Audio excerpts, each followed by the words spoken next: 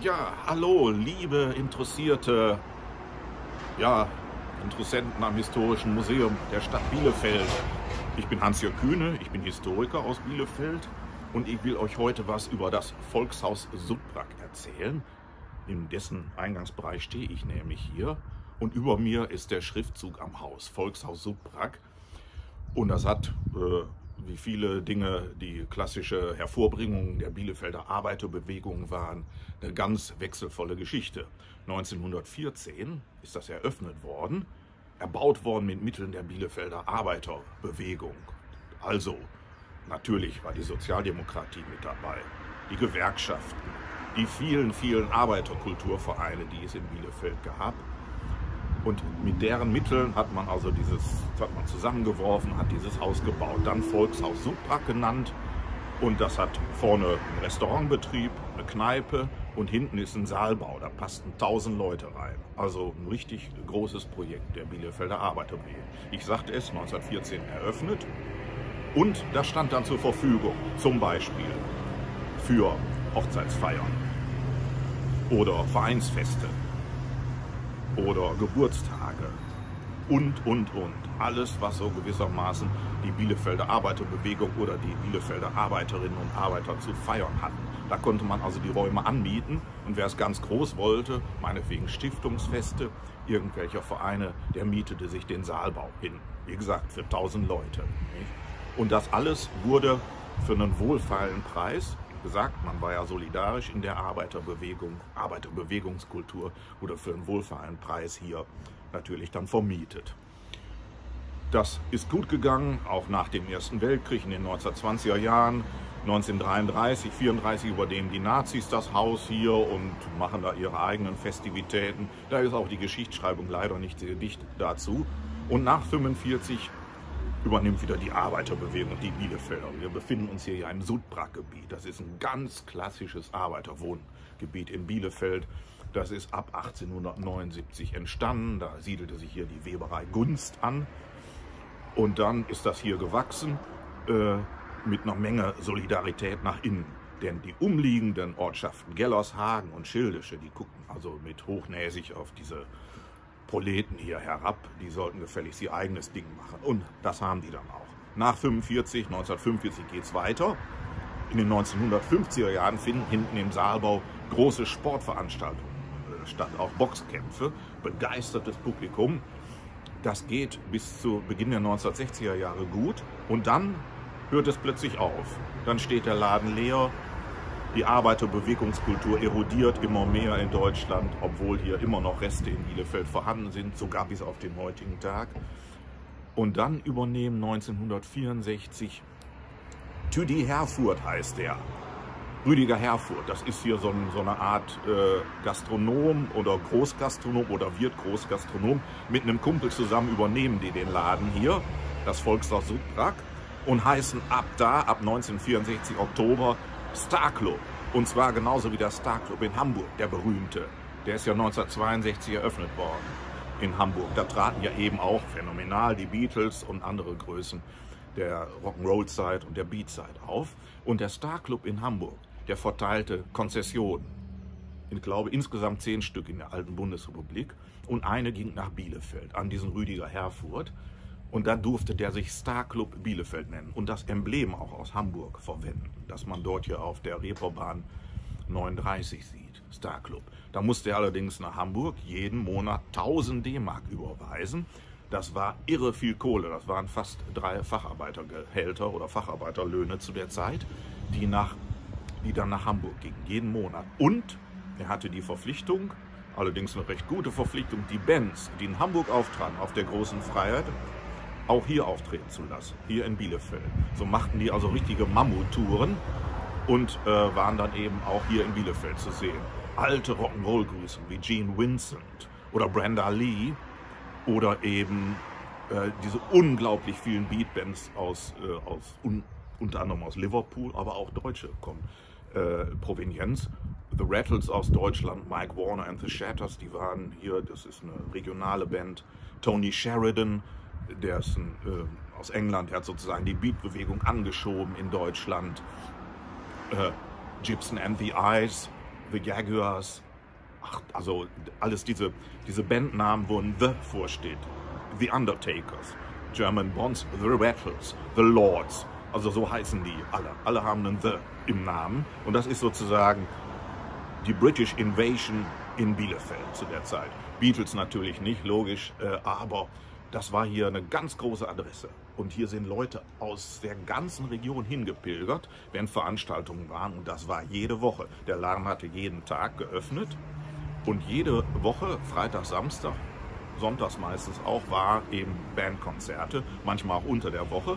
Das ging dann bis 3 Uhr nachts. Das war das absolut Maximale, was das Ordnungsamt hier zuließ an sozusagen Nachtaktivitäten in Bielefeld, bis 3 Uhr und äh, sonntags bis 1 Uhr und unter der Woche dann bis 1 Uhr nachts. Dann musste der Laden zumachen, wie man sich vorstellen kann, überall Wohngebiet drumherum. Das gab schon damals eine Menge Ärger und eine Menge Zoff mit den Anwohnerinnen und Anwohnern hier, weil natürlich, hier musste sogar, wenn Konzerte waren, musste hier die Polizei ein, zwei Polizisten abstellen, die den Verkehr regeln. Also in weißer Kutte und mitten auf dieser Kreuzung hier standen und dann die Autos da durchließen und nach da und nach da winken das war also äh, eine ganz große und dicke Hose gewissermaßen für Bielefeld. Dann unglaubliche Geschichten. Man kann sich gar nicht vorstellen, wie äh, aus unserer heutigen Sicht unglaublich spießig reagiert wurde. Wenn also Jugendliche natürlich feierten und hinterher richtig, äh, wie man damals sagte, Remi-Demi machten auf den Straßen. Da fand man dann manchmal Schlagzeilen montags in der Freien Presse beispielsweise, SPD-Zeitung, später ging die auf in der Neuen Westfälischen. Äh, der Twist ist ja bis et etwa 1964 noch angesagt. Ne?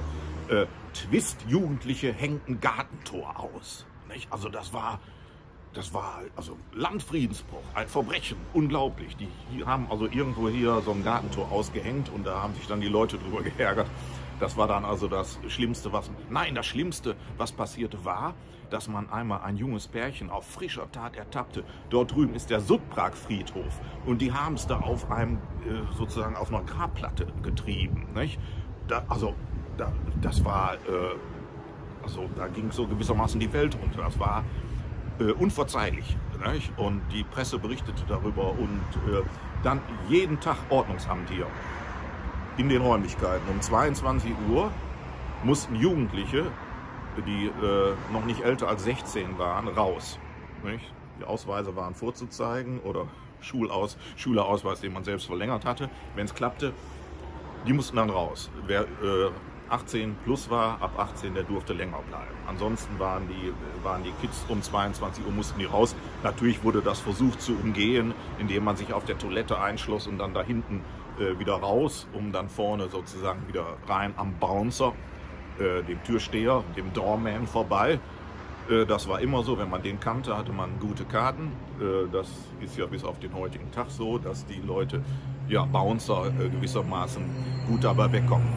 Einer der ehemaligen Türsteher berichtete mir als The Prettiest Things. Pretty Things sind in den 60er Jahren schwerstens angesagt. International bekannte Band aus England. Die sind hier zu Gast einen Abend. Steve Marriott ist der Sänger. Der ist damals eine Größe aus Film, Funk und Fernsehen, wenn man so will. Und die laufen hier auf. Und dann erzählte mir ein ehemaliger Türsteher, dann stand er an der Tür mit seiner Freundin und Steve Marriott kam an, schnappte sich die Freundin, ging mit ihr hinters Haus und man kann schon sozusagen sich hochrechnen, was dann da geschah. Und das erzählte mir dieser ehemalige Türsteher. Ja, dann war es aber mit meiner Freundin zu Ende. Nicht? Also da habe ich aber, da habe ich dann aber gesagt, so geht das ja nicht. Ne? Und äh, da, ich meine, daran kann man schon an solchen Berichten hochrechnen, was solche Konzepte des Hippietums wie freie Liebe oder sowas, das schwappt natürlich auch nach Bielefeld zu der Zeit und wird hier vielleicht äh, hin und wieder missverstanden oder zu heftig ausgelebt. Nicht? Drogen findet man hier auch, allerdings wird eher so ein Schlankheitsmittel nicht Pervitin, nicht die Panzerschokolade, die ist nicht mehr im Gange, sondern es ist ein anderes äh, ja, Mittel zum Abnehmen. Das wird sozusagen tonnenweise konsumiert. Zusammen mit Alkohol ist das eine feine Sache und beschert einem also auch einen ziemlich guten Rausch. Natürlich ist hier auch schon so die, die Spielarten des Hanf sind hier natürlich auch überall zugegen. Auch da wettert äh, die Bielefelder Bürgerinnen und Bürger und schimpfen darüber, das gehe nicht, das wäre ganz schlimm.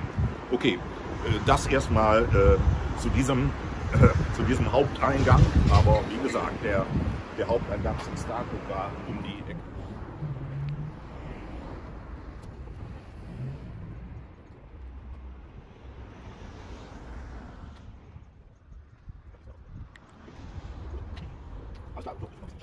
Ich kann gerne weiter erzählen ein bisschen. Also, hier stehe ich jetzt am tatsächlichen Haupteingang des Star Club Bielefeld. Hier wurde, hier war der Einlass. Hinter mir ist dann, sind dann die Räumlichkeiten. Ich sagte schon bis zu 1000 Leute.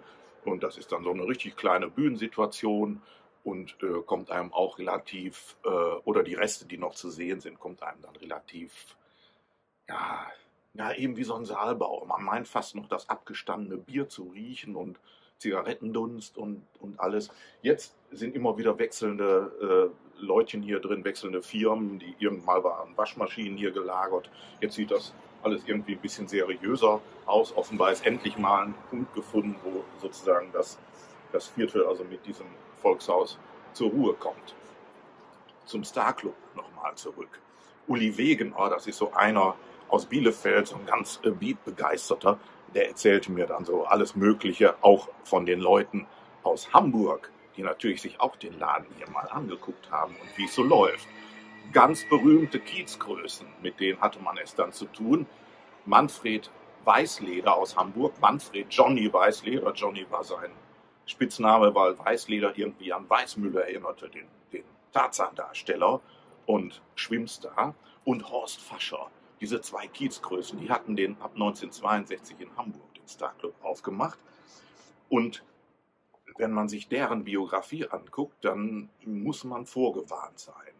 Also Manfred Weißleder, äh, Weiß, Weißleder, ich wollte schon Weißmüller sagen, Weißleder, der hatte verschiedene äh, Bars, die betrieb er in St. Pauli und Horst Fascher war jemand, der war wollte Boxprofi werden, Horst Fascher, Boxprofi und äh, im Fliegen oder Weltergewicht. Das klappte dann aber nicht, weil er kriegte ein Verfahren am Hals, weil er bei einer üblen Schlägerei auf der Straße einen Matrosen totgeschlagen hatte. Das, da erwartete er also eine Gerichtsverhandlung. Obendrein erwartete er noch eine Gerichtsverhandlung wegen achtfacher schwerer Körperverletzung. Das waren die Jungs aus Hamburg. Der hatte in Hamburg äh, ein paar Schläger um sich herum gesammelt, dieser Horst Fascher Hoddles Gang. Und die äh, konnte man mieten und bestellen, wenn es irgendwie äh, Schwierigkeiten irgendwo gab. Dann liefen die auf und sorgten für Ordnung. Also mit solchen Leuten hatte man es zu tun. Ähm, und ich weiß nicht, ob äh, Tüdi Herford und ein anderer Herr Fehoff, das war glaube ich der zweite im Bunde, der den Bielefelder Star Club betrieb, ob die, äh, wie soll ich sagen, dem solcher rabiaten Vorteilsnahme gewachsen waren. Okay, das bleibt so ein bisschen letztlich im Dunkeln. Immerhin lief dieser Startup Bielefeld ja recht gut eine Zeit lang. War das Mekka der Jugend schlechthin, hatte eine ganz scharfe Konkurrenz. Erstaunlicherweise in Herford. Der Jaguar Club in Herford machte 1966 auf. Und da traten dann wirklich die ganz Großen auf.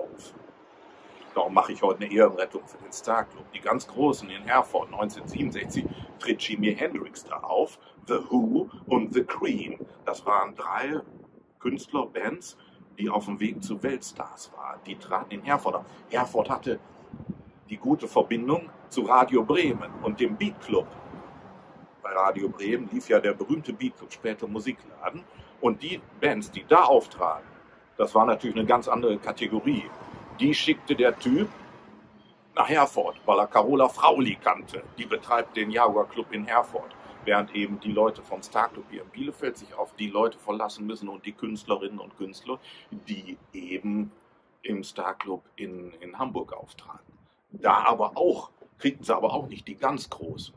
Es gibt vielleicht den berühmtesten Live-Mitschnitt eines Rock'n'Roll-Künstlers wo manche Kritiker bis heute sagen, das ist die pure Essenz des Rock'n'Roll.